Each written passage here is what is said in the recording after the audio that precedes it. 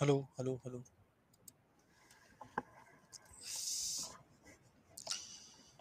स्वागत है आप सभी का दोस्तों।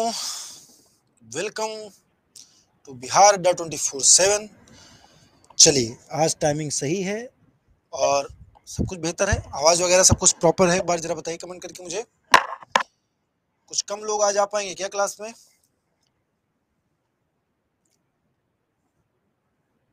चलिए स्टार्ट किया जाए। गुड इवनिंग गुड इवनिंग एक मिनट मैं वेट कर लेता हूँ सभी लोग जिससे कि जुड़ पाए। ठीक? दिनेश प्रसाद जी, संजीव जी। आप सभी का स्वागत है दोस्तों। आप सभी का वेलकम है। कल हमने स्टार्ट किया था।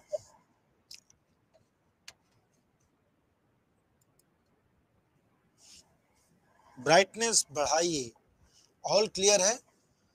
साउंड क्वालिटी बेटर नहीं आ रहा है। साउंड मतलब अच्छा sound quality sound quality better आ जाएगी भाई। क्यों नहीं आएगी बेटर अब डेली यही टाइम रहेगा क्या सर कोशिश करेंगे कि इसी टाइम पर हो जाए। अगर आप लोग साथ दें तो अदरवाइज़ कोई बात नहीं, फिर फेस काला आ रहा है। यार, इसमें लाइटिंग तो इतनी ही इतने से ही आपको काम चलाना पड़ेगा। काला आ रहा है, गोरा आ रहा है। लेकिन आप लोगों को दिखाई पड़ेगा सब कुछ, ठीक है ना? सब कुछ दिखाई पड़ेगा। तो चलिए, जुड़ चुके हैं, मुझे लगता है इतने ही लोग आने वाले हैं आज क्लास में। स्टार्ट करते हैं। इस सर इस टाइम फिर डी के सर क्या उनकी कोई क्लास है? पेड क्लास चल रही डी के सर की? डेली यही टाइम रहने दें। डी के सर मतलब कौन? फैयाज अनवर जी, बताइए। तो फिर कैसे? अच्छा वाई टी वाई टी कोई मतलब नहीं यार पेट से आपको पढ़ने जाना है, आपको रीजनिंग पढ़ना है, अगर पढ़ना है तो आप जा सकते हैं। पढ़ लीजिए, यहाँ रिकॉर्डेड देख लीजिएगा ठीक है? अपने इंटरेस्ट के अनुसार करिए काम। और वैसे भी आप लोग जानते हैं कि कितना रोल है रीजनिंग का मैथ का, इस आपकी वैकेंसी में। उस अनुसार जो है थोड़ा सा। मुझे लगता है बुद्धिमानी दिखाइए। चलिए। तो स्टार्ट करते हैं। कल क्या हुआ था जरा बताइए एक बार। कमेंट करके बताइए। हाँ विभा सिंह जी। देखिए, किसी को अगर देख, कभी ना कभी ऐसा हो ही नहीं सकता किसी कुछ प्रॉब्लम ना हो। कुछ ना कुछ प्रॉब्लम तो सबको रहेगी, हर टाइम पे रहेगी, है ना? तो ये ऐसा तो हो ही नहीं सकता कि किसी कोई प्रॉब्लम ही ना हो भाई। तो प्रॉब्लम तो होगी, आप किसी भी टाइम पे क्लास लोगे तो प्रॉब्लम होगी। लेकिन ये देखना है कि भाई, हमारे लिए बेटर क्या है? अच्छा क्या है? उस चीज़ के अनुसार फिर हमको ये चीज़ करना पड़ेगा।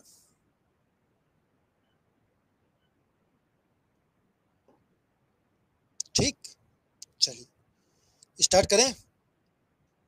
एक बार जरा बताइए, क्या पढ़ लिए आप? Article thirty nine A start करना है। Okay article thirty nine A चलिए।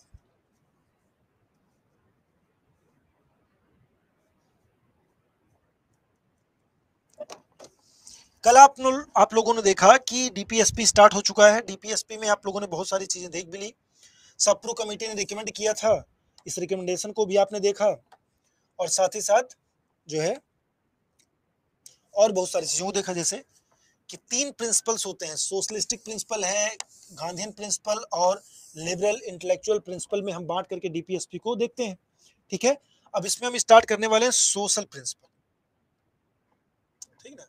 Directive principle of state policy social principle कहा गया भाई? हाँ सोशलिस्टिक प्रिंसिपल, यानी समाजवादी जो विचारधारा से प्रेरित जो आर्टिकल्स हैं, उनको हम देखने वाले यहाँ पर, है ना? समाजवादी विचारधारा से।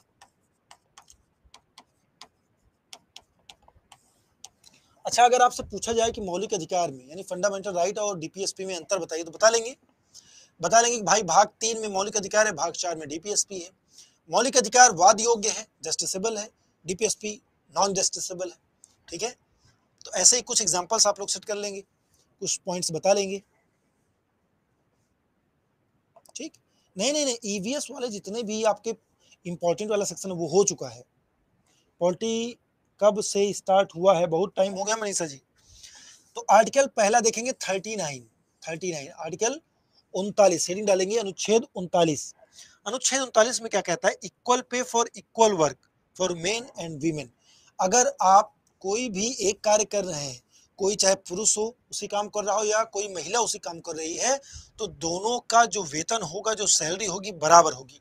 यानी समान कार्य के लिए समान वेतन नोट करेंगे। समान कार्य के लिए समान वेतन। कोई भेदभाव नहीं होगा महिला और पुरुष में, समान कार्य के लिए समान वेतन होगा। अगर डेजिग्नेशन सेम है जैसे मान लीजिए, कोई टीचर है प्राइमरी में मेल कैंडिडेट और कोई टीचर है फीमेल कैंडिडेट तो दोनों की सैलरी इक्वल होगी। सैलरी क्या होगी? इक्वल होगी। यही कहना चाह रहा है।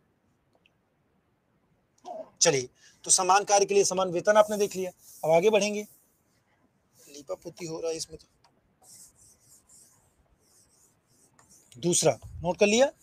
दूसरा आर्टिकल है दोस्तों आर्टिकल 39 ए, जो कि जोड़ा गया बयालीसवें संविधान संशोधन के द्वारा। बयालीसवां संविधान संशोधन के द्वारा जोड़ा गया, आर्टिकल 39 है इसमें क्या कह रहा है? Promote equal justice and free legal aid to the poors यानी निशुल्क विधिक सहायता, कमज़ोर वर्गों के लिए, कमज़ोर वर्गों के लिए गरीबों के लिए, कमज़ोर वर्गों के लिए निःशुल्क विधिक सहायता। निशुल्क विधिक सहायता। ये जोड़ा गया। कब जोड़ा गया? चौवालीसवें, बयालीसवें संविधान संशोधन के द्वारा। आर्टिकल 39 ए जोड़ दिया गया, कमज़ोर वर्गों के लिए निःशुल्क विधि। जैसे मान लीजिए, कोई कमज़ोर है, कोई वकील वगैरह की फ़ीस नहीं पे कर सकता है। तो सरकार के दायित्व तो है कुछ ऐसी नीति बनाए जिससे कि उन लोगों को फ्री में लीगल सर्विस मिल पाए। और इसीलिए फिर सरकार ने क्या किया? नालसा ले आया सरकार। नालसा ले आई।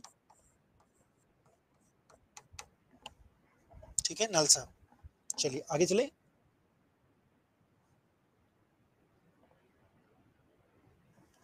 नेक्स्ट आर्टिकल 41 अनुच्छेद 41 इसमें क्या कह रहा है?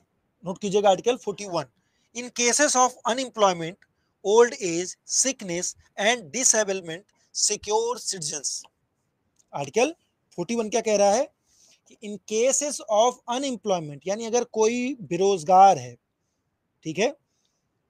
या कि वृद्ध है, या कि बीमार है तो उसका सिक्योर करना, क्या करना? 44 में समझिए क्या है? अनुच्छेद 44 सॉरी 44 नहीं, इकतालीस है। आर्टिकल 41 अनुच्छेद इकतालीस कहता है, कुछ दशाओं में, कुछ विशिष्ट दशाओं में, कुछ विशिष्ट दशाओं में काम, शिक्षा आदि का अधिकार। आदि का, आदि की व्यवस्था। सरकार को ऐसा करना चाहिए, जैसे मान लीजिए कोई विकलांग है, कोई बीमार है तो उनके लिए भी कुछ काम वगैरह की व्यवस्था करनी चाहिए, कुछ शिक्षा वगैरह की व्यवस्था करनी चाहिए। ठीक है? यानी कुछ दशाओं में काम, शिक्षा और लोक सहायता, पाने का अधिकार। नोट करेंगे? नालसा एक एक्ट है, एक अधिनियम फिर गवर्नमेंट ले आई। आप देखेंगे कि अगर आप, किसी भी आप कोर्ट में जाएँ, चाहे लोअर कोर्ट या अपर कोर्ट में तो आप देखेंगे कि अगर आप जो है कि बहुत गरीब हैं, कमज़ोर वर्ग से आते हैं तो आपको फ्री जो है एड लीगल एड मिलेगा। कोई ना कोई आपको वकील दिया जाएगा सरकार की तरफ़ से। ठीक? तो ये इकतालीस हो गया। अब अब देखिए राइट टू इसके अंतर्गत क्या आता है? Right to work right to education and right to public assistance यानी अभी जो मैंने बताया कि काम, शिक्षा और और लोक सेवा। लोक सेवा का अधिकार। काम, शिक्षा और लोक सेवा या लोक सहायता। लोक सेवा या लोक सहायता। पाने का अधिकार होना चाहिए। डन लिख लिया सबने?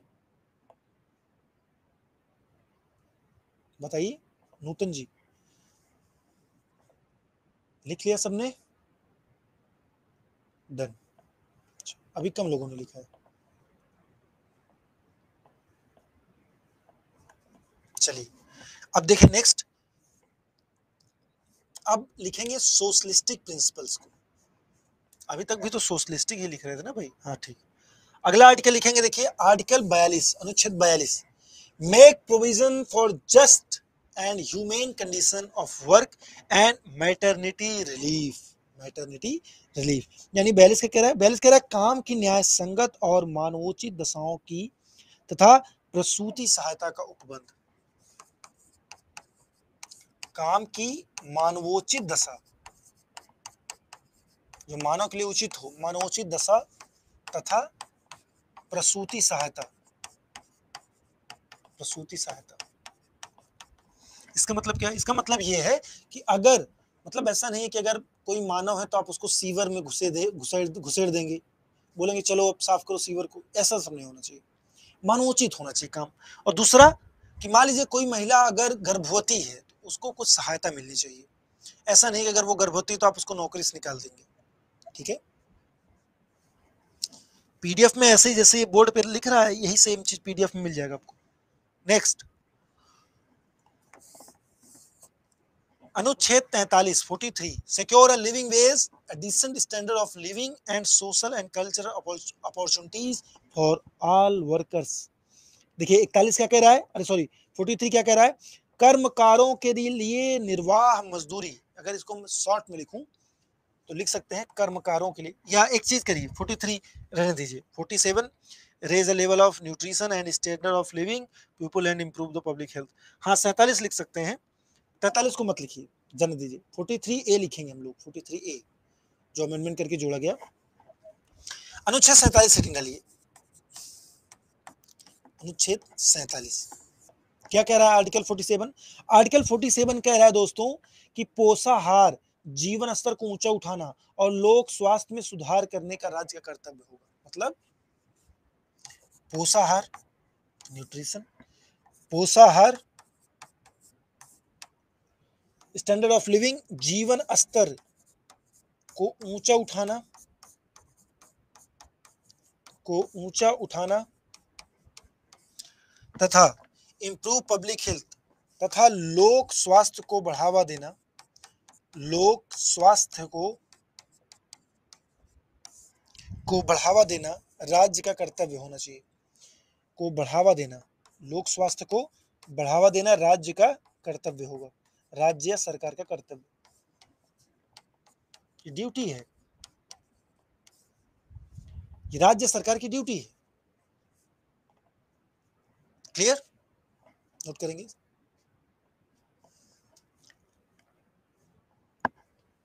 तो ये रहा कुछ इंपॉर्टेंट आर्टिकल्स जो सोशलिस्टिक प्रिंसिपल से के थ्रू है।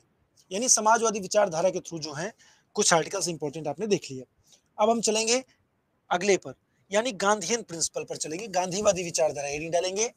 गांधीवादी विचारधारा। अब गांधीवादी विचारधारा संबंधित कौन कौन सा अनुच्छेद एनडीपीएसपी में? तो सबसे पहले, गांधी जी ने कहा था कि ए जो भारत का हृदय है, वो गाँव में बसता है। इसलिए article 40 organise village panchayat and endow them with necessary powers and authority to enable them to function as a unit of self government यानी शॉर्ट फॉर्म में अगर हम कहें तो पंचायतों का गठन। ऐसे सवाल पूछा गया है। इंपॉर्टेंट थोड़ा सा। सवाल पूछा गया आर्टिकल 40 में, क्या कहता है? तो पंचायतों के गठन के बारे में प्रावधान है या स्वशासन के बारे में। स्वशासन सेल्फ गवर्नमेंट स्वशासन। लिख लीजिए पंचायतों गठन या स्वशासन के विषय में आर्टिकल 40 इंपॉर्टेंट हो जाएगा। आर्टिकल 40 इंपॉर्टेंट है। चलिए, हो गया। अब देखिए आर्टिकल 46 अनुच्छेद 46 वैसे तो एक ही लिखिए, जाने दीजिए और सबको समझना, जाने दीजिए। सिर्फ़ आर्टिकल फोर्टी आप लिखिए यहाँ पे। छियालीस और सैंतालीस सैंतालीस आपने देख ही लिया है तो इसको मत लिखिए। सैतालीस में क्या कहता है? सैतालीस अगर देखना चाहे तो एक पच्चीस का देख सकते हैं। अनुच्छेद सैतालीस में मध्य निषेध के बारे में कहता है मध्य निषेध। मध्य निषेध जो कि बिहार में लागू है, इसलिए लिख लीजिए इसको कि मध्य निषेध, मान लीजिए बिहार लागू है, शराबबंदी तो अगर वहाँ पूछा जा सकता है कि किस अनुच्छेद के द्वारा सरकार ने कानून बनाया तो डीपीएसपी में आर्टिकल 47 में मद्य निषेध सिर्फ़ इतना लिख लीजिए बस। अनुच्छेद सैतालीस मद्य निषेध ये भी गांधी गांधी प्रिंसिपल पे आधारित है आर्टिकल 47 मद्य निषेध अभी आपने देखा था ना, पोषाहार वगैरह के लिए। तो भाई, अगर आपका लिविंग स्टैंडर्ड हाई होगा तो मद्य निषेध ज़रूरी है ना? ऐसा थोड़ी कि दरुअल का होता है हाई होता है। और जो दारू पीता है, शराब पीता है, उसका तो लिविंग स्टैंडर्ड हाई होता नहीं, वो नाली में पड़ा रहता है। तो मध्य निषेध भी अनुच्छेद सैतालीस संबंधित है। क्लियर नेक्स्ट अगला है आर्टिकल 48 इंपॉर्टेंट अनुच्छेद 48 देखिए क्या है। Prohibit the slaughter of cows calves and other milch and draught cattle and to improve their breeds यानी आर्टिकल 48 कहता है, गौ हत्या पर प्रतिबंध। इतना ही लिख लीजिए बस। गौ हत्या पर प्रतिबंध। जितना भी भूचड़ खाना वगैरह है, उत्तर प्रदेश में आपने देखा योगी जी, आते ही बंद करवा दिए सब भूचड़ खाना। तो ये आर्टिकल 48 के द्वारा सरकार कर रही है। गौ हत्या पर प्रतिबंध जिसमें लगाया गया है। क्लियर गौ हत्या पर प्रतिबंध। तो आपने तीन आर्टिकल्स देख लिया गांधीयन प्रिंसिपल पर। तीन आर्टिकल आपने देखा ना अनुच्छेद गांधीयन प्रिंसिपल पर। आर्टिकल 48 गौ हत्या पर प्रतिबंध, ये लिख लेंगे। यहाँ तक क्लियर है? हाँ इसी में पशुपालन भी आता है, बिल्कुल सही है। आर्टिकल 48 में ही कृषि एवं पशुपालन भी आता है। कृषि एवं पशुपालन भी इसी के अंतर्गत आता है।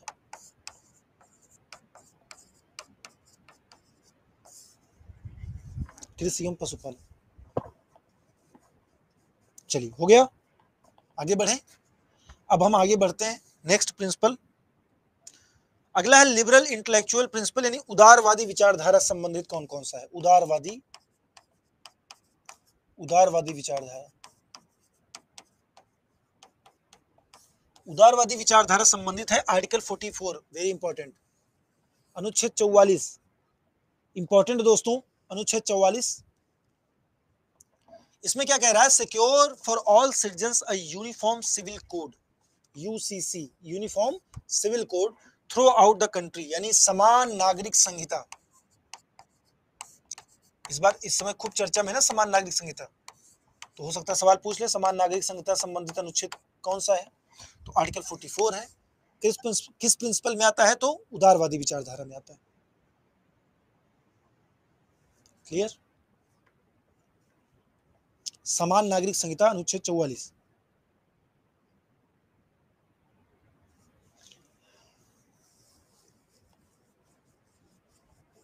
डन। चलिए, आर्टिकल 45 इसमें संशोधन हुआ था आर्टिकल 45 में। पहले डीपीएसपी में ये था कि 6 से 14 वर्ष तक के बालकों के लिए निःशुल्क शिक्षा होनी चाहिए। अब निःशुल्क शिक्षा को देखते हुए संसद ने संविधान संशोधन करके आर्टिकल 21 ए में भेज दिया उसको अनुच्छेद इक्कीस का में। और यहाँ पर क्या कर दिया गया provide early childhood care and education for all children until they complete the age of six years यानी ज़ीरो से छह ज़ीरो से छह वर्ष तक के आयु के बच्चों के लिए, ज़ीरो से छह वर्ष के बच्चों के लिए के लिए शिक्षा शिक्षा एवं देखभाल, के लिए शिक्षा एवं देखभाल। ये व्यवस्था होनी चाहिए गवर्नमेंट के द्वारा और इसी के द्वारा फिर आप जानते हैं, इसी आर्टिकल के द्वारा फिर आंगनवाड़ी कार्यक्रम वगैरह चलाया गया कि छोटे छोटे जो बच्चे हैं, जो छह वर्ष से कम के हैं, उनके उनके देखभाल के लिए आंगनवाड़ी कार्यक्रम। बहुत बढ़िया। किसने? रोशन यादव जी आंगनबाड़ी क्लियर तो आर्टिकल फोर्टी फोर्टी फाइव में ये बात कही गई। ध्यान रखना है कि जो डीपीएसपी में है, वो ज़ीरो से छह वर्ष तक के लिए और जो फंडामेंटल राइट में आपने देखा था, छह से चौदह वर्ष तक के बच्चों के लिए देखा था। क्लियर चलिए। ये छियासीवा संविधान संशोधन हुआ था, अभी हम बताएँगे। अभी आगे बताएँगे हम। ठीक है छियासीवा संविधान संशोधन के द्वारा इसके जो है परिभाषा को चेंज कर दिया गया डिफिनेशन को चेंज कर दिया गया। पहले ये था छह से चौदह वर्ष तक के लिए, लेकिन बाद में फिर इसको जोड़ दिया गया कि ज़ीरो से छह वर्ष के लिए बना दिया गया। आर्टिकल फोर्टी फाइव क्लियर है? क्लियर है यहाँ तक? चलिए नेक्स्ट आर्टिकल 49 नोट कीजिए। अनुच्छेद उनचास क्या कह रहा है प्रोटेक्ट मतलब संरक्षित करना मॉन्यूमेंट्स स्मारकों को प्लेसेस स्थानों को एंड ऑब्जेक्ट्स और वस्तुओं को ऑफ़ आर्टिस्टिक और historic interest which are declared to be of national importance यानी आर्टिकल 49 क्या कह रहा है? इसको जरा देखिएगा। यहाँ नहीं, यहाँ लिख देता हूँ।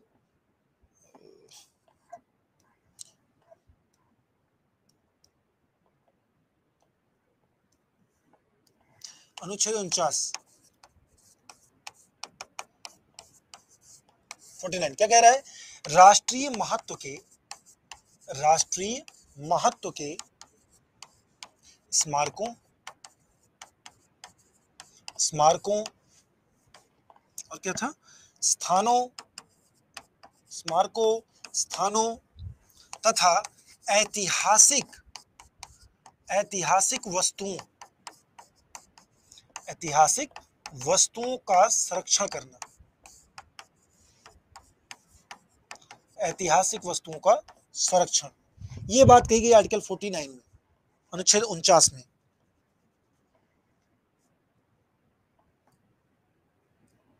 ठीक है? राष्ट्रीय महत्व के क्या स्मारकों, स्थानों और ऐतिहासिक वस्तुओं का संरक्षण। डन? यहाँ तक क्लियर है सबको?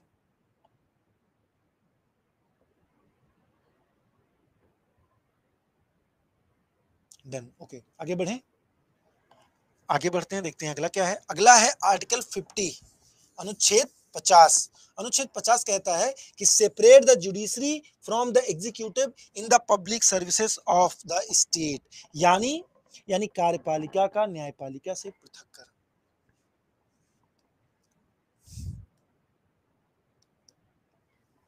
अनुच्छेद 50 क्या कहता है। अनुच्छेद 50 कहता है यह भी इंपॉर्टेंट है। कार्यपालिका का कार्यपालिका का न्यायपालिका से पृथककरण। न्यायपालिका से पृथककरण। कार्यपालिका का न्यायपालिका से पृथककरण यह कहता है आर्टिकल 50 अनुच्छेद 50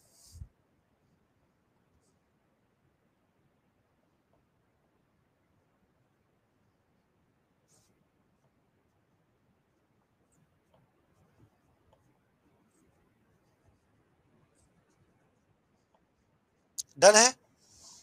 लिख लिया सबने? ये देखिए आर्टिकल 50 हो गया। क्लियर एक और है आर्टिकल उसको भी लिख लीजिए। आर्टिकल 51 अनुच्छेद इक्यावन। इंपॉर्टेंट है यह भी आर्टिकल 51 क्या कहता है? आर्टिकल 51 कहता है इंटरनेशनल पीस एंड सिक्योरिटी यानी अंतरराष्ट्रीय शांति एवं सुरक्षा। इंटरनेशनल पीस एंड सिक्योरिटी, अंतरराष्ट्रीय शांति एवं सुरक्षा के विषय में बात करता है। अंतरराष्ट्रीय शांति एवं शांति एवं सुरक्षा। आर्टिकल 51 क्या कहता है? अंतरराष्ट्रीय शांति एवं सुरक्षा। Clear international peace and security यानी अगर आपसे पूछा जाए कि भाई अंतरराष्ट्रीय संबंध किस अनुच्छेद के अंतर्गत है? तो आप कहेंगे आर्टिकल 51 अनुच्छेद इक्यावन अंतरराष्ट्रीय संबंध मतलब अंतरराष्ट्रीय शांति एवं सुरक्षा, अंतरराष्ट्रीय संबंध आईआर है इंटरनेशनल रिलेशनशिप तो ये आपने देख लिया, जितने प्रिंसिपल्स थे, कुछ इंपॉर्टेंट आर्टिकल्स को देख लिया। अब हेडिंग डालेंगे सभी लोग। अब हेडिंग डालना है क्या? जितने भी जो अमेंडमेंट हुए, यानी कि संशोधन हुए, संविधान, नीति निदेशक तत्वों संबंधित प्रमुख संविधान संशोधन। ऐसा हेडिंग डाली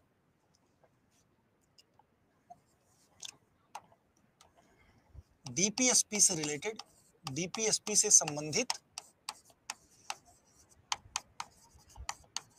महत्वपूर्ण संविधान संशोधन। महत्वपूर्ण संविधान संशोधन इंपॉर्टेंट कॉन्स्टिट्यूशनल अमेंडमेंट संविधान संशोधन। डीपीएस डीपीएसपी से रिलेटेड जो इंपॉर्टेंट कॉन्स्टिट्यूशनल अमेंडमेंट हुए, उनको हम देखेंगे। एक एक करके। ठीक है हेडिंग डालिए। डीपीएसपी से रिलेटेड क्या है? इंपॉर्टेंट कॉन्स्टिट्यूशनल अमेंडमेंट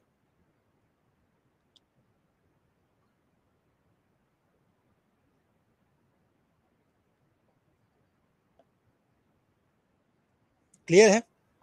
पहला हुआ इसमें, पहला अमेंडमेंट हुआ दोस्तों बयालीसवां संविधान संशोधन के द्वारा। 1976 में बयालीसवें संविधान संशोधन के द्वारा तीन चीज़ों को जोड़ा गया। तीन आर्टिकल्स। आर्टिकल 39 बी 39 ए, अनुच्छेद उनतालीस ए, अनुच्छेद उनतालीस ए, अनुच्छेद तैतालीस ए 43 ए और आर्टिकल 48 ए, ये तीन जोड़े गए। तीन आर्टिकल जोड़े गए। ठीक है? तीन आर्टिकल अणु देखिए, आर्टिकल थर्टी नाइन ए में क्या कहता है? इसमें नालसा मतलब कि निःशुल्क विधिक सहायता, निःशुल्क विधिक सहायता आपने देखा भी, लिखा भी था। निःशुल्क विधिक सहायता से नीचे लिख लीजिए थोड़ा सा। जिससे आप जान पाए, निःशुल्क विधिक सहायता। आर्टिकल 43 ए में क्या कहता है? आर्टिकल 43 ए कहता है कि उद्योगों के प्रबंधन में कर्मकारों का, कर्मकारों की भूमिका लिख लीजिए। उद्योगों के प्रबंधन में, यानी किसी भी इंडस्ट्रीज़ के मैनेजमेंट में, इंडस्ट्री के मैनेजमेंट में जो एम्प्लॉयज़ हैं, उनका रोल। उद्योगों के प्रबंधन में प्रबंधन में कर्मकारों कर्म, कर्मगारों या कर्मगारों को लिख लीजिए। कर्मगारों की भूमिका। उद्योगों के प्रबंधन में कर्मगारों की भूमिका।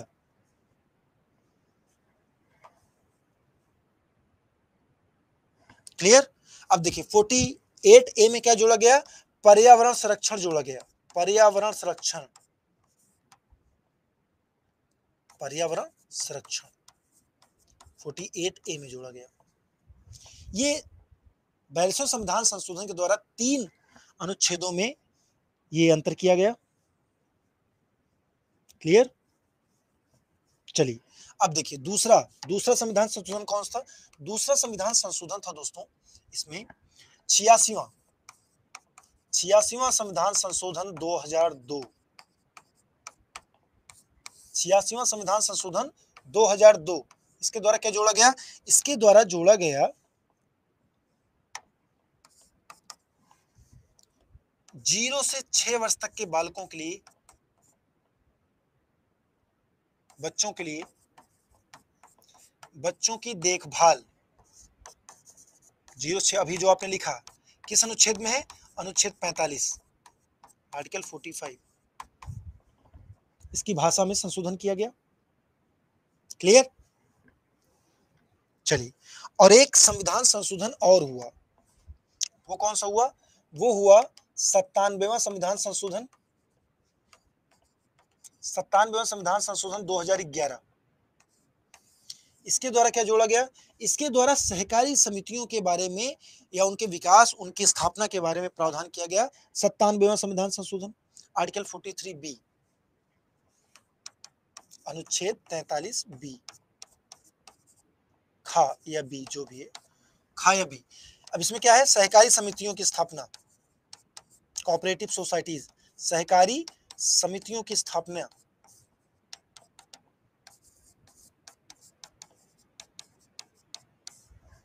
ये इस प्रकार से लिख लीजिए, एक डायग्राम बना के। 43 बी डन है? लिख लिया सबने? हाँ 76 है ये। ये है 76 उन्नीस सौ छिहत्तर में हुआ था ना बयालीसवां संविधान संशोधन। चलिए, अब यही सारी बातें यहाँ पे आपको लिखी गई हैं। आपके लिए यही सारी बातें जो है कहाँ पर हैं? यहाँ पर है, देखिए। यहाँ बताया जा रहा है कि बयासवें संविधान संशोधन के द्वारा it introduce certain changes in the part four of constitution by adding new directives जैसे आर्टिकल 39 ए जोड़ा गया to provide free legal aid to the poors article 43 A जोड़ा गया participation of workers in management of industries and article 48 A जोड़ा गया to protect and improve the environment to protect and improve the environment ये जोड़ा गया। Back करना है। ये देखिए। जल्दी नोट कीजिएगा। जल्दी नोट करें। थोड़ा सा।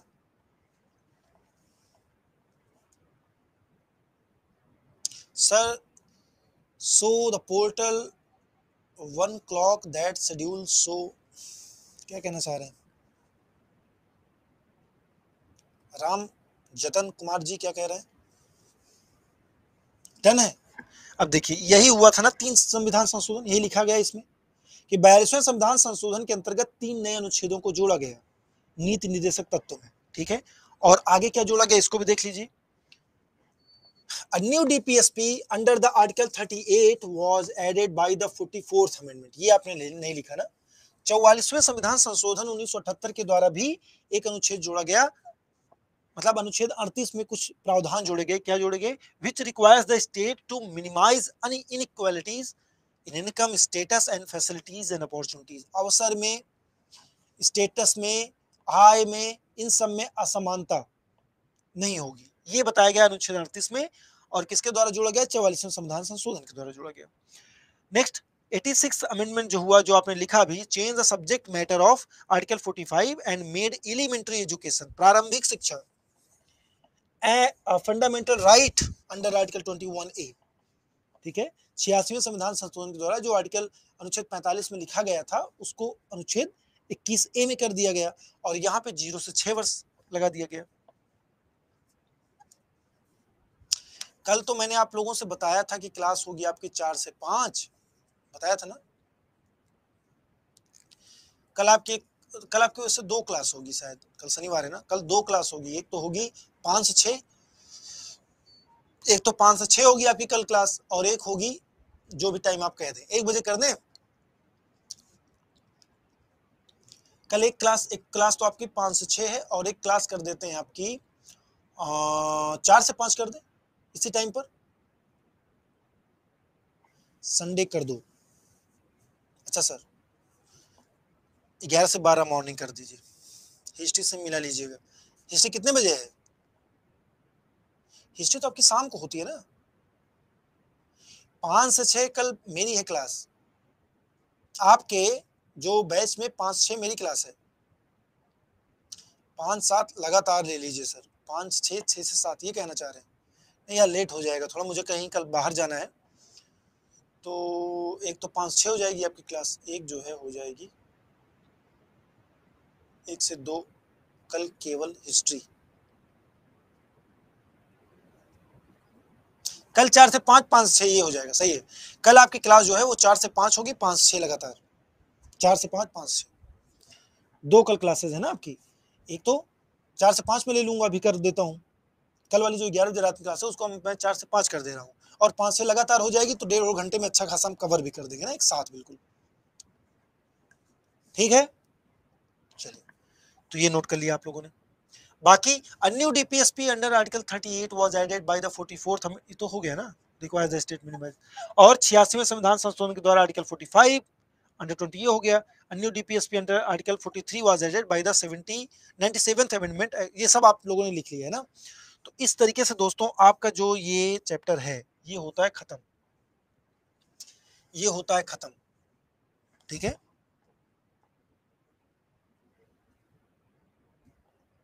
अब हेडिंग डालेंगे आप लोग। अब हेडिंग डालेंगे आप लोग फंडामेंटल ड्यूटीज़ फंडामेंटल ड्यूटीज़ मौलिक कर्तव्य। अब अब हम लोगों को मौलिक कर्तव्य पढ़ना है। राष्ट्रपति की नियुक्ति। ये कहाँ से आ गया पवन शर्मा जी, राष्ट्रपति की नियुक्ति लेकर के भाई। अब हेडिंग डालिए मौलिक कर्तव्य।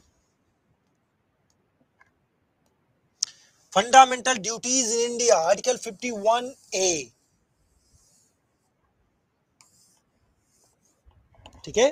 फंडामेंटल ड्यूटीज़ हेडिंग डालेंगे मौलिक कर्तव्य। मौलिक कर्तव्य। अब देखिए लिखा है 42 amendment act of 1976 added 10 fundamental duties to the Indian constitution ठीक है ना? लेकिन हम थोड़ा सा इसको ना एक बढ़िया डायग्राम बना के सीखते हैं थोड़ा सा।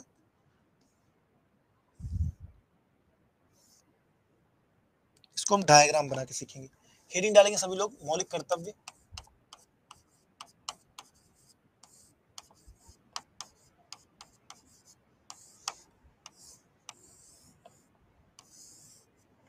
अब चलिए स्टार्ट करिए। स्टार्ट करिए लिखना। ये किस भाग में किस पार्ट में? संविधान के भाग चार का में है। संविधान के भाग चार का में है। क्लियर अगर अनुच्छेद की बात करें तो ये अनुच्छेद हो जाएगा आपका 51 ए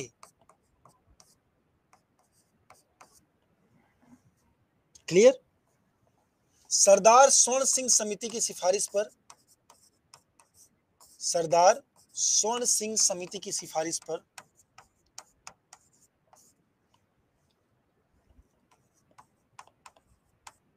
सरदार स्वर्ण सिंह समिति की सिफारिश पर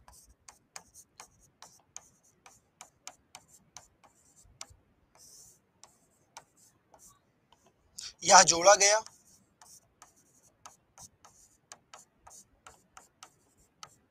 भाई, मूल संविधान में, जब हमारा संविधान बना था तो उसमें मौलिक कर्तव्य नहीं था।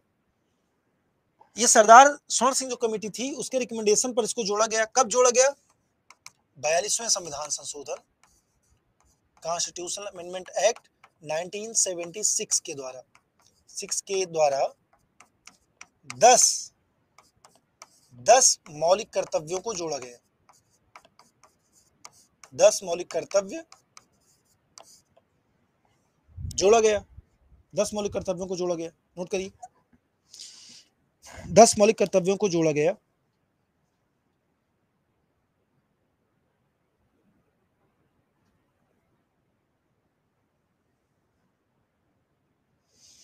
क्लियर चलिए। अब देखिए, यहाँ पर लिख लीजिए, यह केवल भारतीय नागरिकों के लिए यह केवल भारतीय नागरिकों के लिए। यानी फंडामेंटल ड्यूटी किसके लिए? नागरिकों के लिए, नागरिकों के लिए।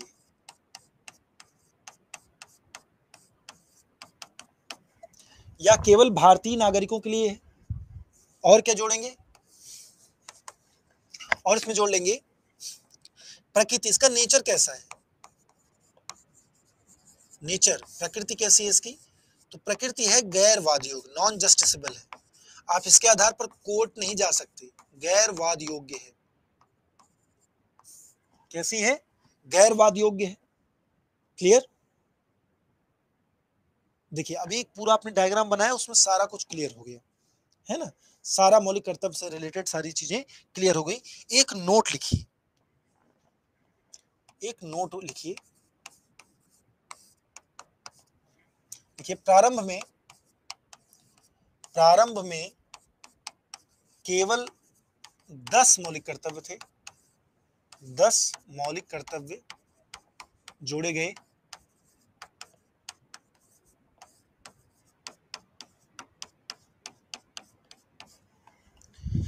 वर्तमान में वर्तमान में इनकी संख्या इनकी संख्या ग्यारह है। वर्तमान में इनकी संख्या ग्यारह है। और ये जो ग्यारहवा मौलिक कर्तव्य है, ऐसे बना के लिख लीजिए। छियासीवा संविधान संशोधन कॉन्स्टिट्यूशनल अमेंडमेंट एक्ट 2002 2002 के द्वारा जोड़ा गया। द्वारा जोड़ा गया। और इसमें कौन सी बात कही गई है? इसमें कौन सी बात कही गई दोस्तों? इसमें कही गई है, छह से चौदह वर्ष तक के बालकों के लिए वर्ष तक के बच्चों के लिए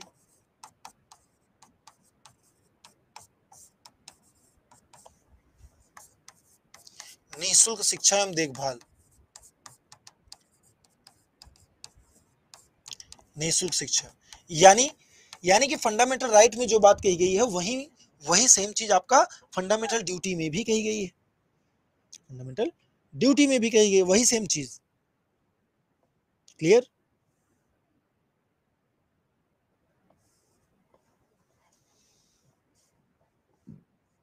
देखिए अब कितना बढ़िया आपने दो पेज में पूरा मौलिक कर्तव्य निपटा दिया। है ना? पूरा दो पेज में। और यहीं से मौलिक कर्तव्य कहीं भी सवाल पूछा जाएगा तो यहीं से पूछा जाएगा। अब आप करेंगे क्या? ये सेम चीज़ यहाँ पर लिखी हुई है, देखिए। यहाँ पर लिखी हुई the list of eleven fundamental duties under article 51 A to be obeyed by every Indian citizen केवल भारतीय नागरिकों is given to the table table below मतलब कि यहाँ पर कुछ जो है, अब आपको क्या करना है? अब आपको करना ये है कि एक पेज छोड़ देना है और ग्यारह मौलिक कर्तव्य पूरा लिख लेना है ऐसे। तीन, चार, पाँच छ सात, आठ, नौ, दस, ग्यारह। ठीक है ना? उसी के नीचे जो है ग्यारह जितने भी मौलिक कर्तव्य आपके हैं, पूरा एकदम नोट कर लीजिए। नोट कर लीजिए। क्लियर? हाँ रसिया छूट गया। अच्छा चलिए, रसिया भी लिख लीजिए भाई। यहाँ पर देख, कहाँ से लिया गया? तो रूस के संविधान से लिया गया। रूस के संविधान से से लिया गया। ये छूट रहा था, इसको भी लिख लीजिए। रूस के संविधान से लिया गया है।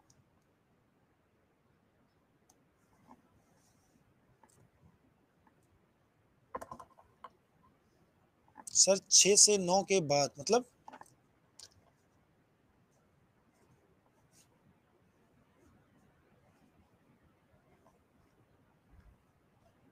सबको समझ में आ गया यहाँ तक बातें? नोट कर लिया सबने? छूट गया है। क्या छूटा है इसमें? ये छूट गया लिखिए। छूट, छोड़िए मत भाई, सब लिख लीजिए। डन है। आज ही दस बजे क्लास ले लीजिए। तो दस बजे क्लास तो हिस्ट्री वाली होगी रोशन। नहीं हिस्ट्री वाली क्लास क्या?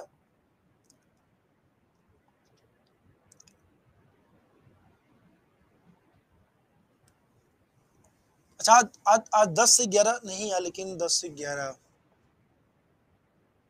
लेट हो जाएगा। मुझे एक्चुअली कुछ काम से जाना है कहीं बाहर तो फिर लेट हो जाएगा ना।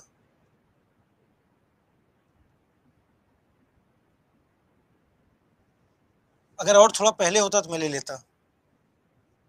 कल कोई नहीं, कल चार से छह लगातार पढ़ लेंगे, क्या दिक्कत है है ना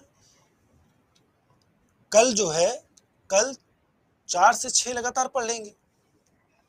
कोई दिक्कत नहीं है। कल का डन ना? चलिए थैंक यू सो मच ये पीडीएफ मैं आप लोगों को दे देता हूँ, क्योंकि भी तुरंत फिर मेरी क्लास है बीपीएससी में इकोनॉमिक्स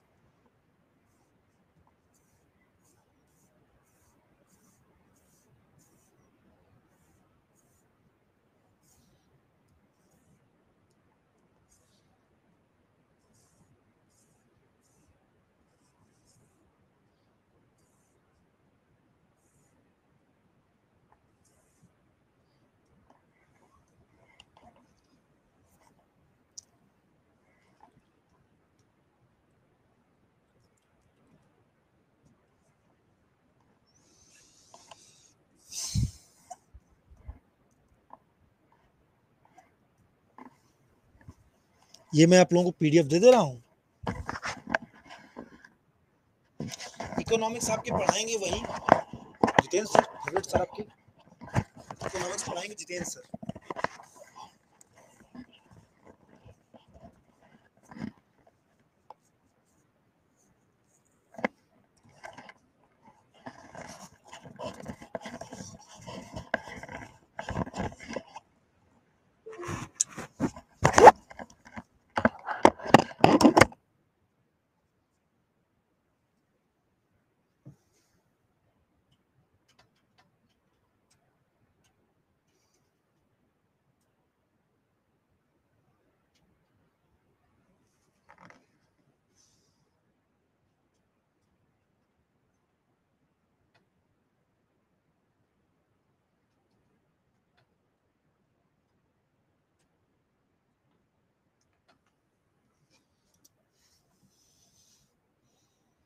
मौलिक कर्तव्य लिखवा दिया, क्षितिज, अभी कहाँ सो रहे थे आप? ग्यारह फंडामेंटल ड्यूटीज़ लिखा दीजिए। एक से ग्यारह फंडामेंटल कहाँ से लिखे सर अरे गूगल कर लीजिए, उसमें सेम भाषा है। गूगल कर लीजिए सेम भाषा, उसको लिख लीजिए। वही सेम चीज़ लिखना है। तो आप खाली टाइम में हाँ कहीं से भी लिख लीजिए आप। ग्यारह जो मौलिक कर्तव्य है, उनको कहीं से भी लिख सकते हैं आप। अगर तब भी, अगर कहीं आपको ना मिले गूगल पे ना मिले, किसी भी किताब में ना मिले तो बताइएगा। नेक्स्ट डे में लिखवा दूँगा। है ना?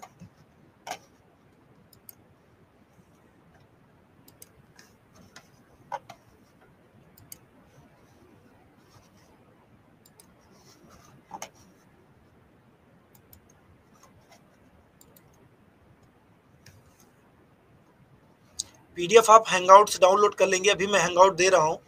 आप सभी लोग यहाँ से कर लीजिए डाउनलोड देखिए पिन कर दिया मैंने मैसेज ऊपर में एकदम। पिन कर दिया मैंने मैसेज, पीडीएफ सबको मिला।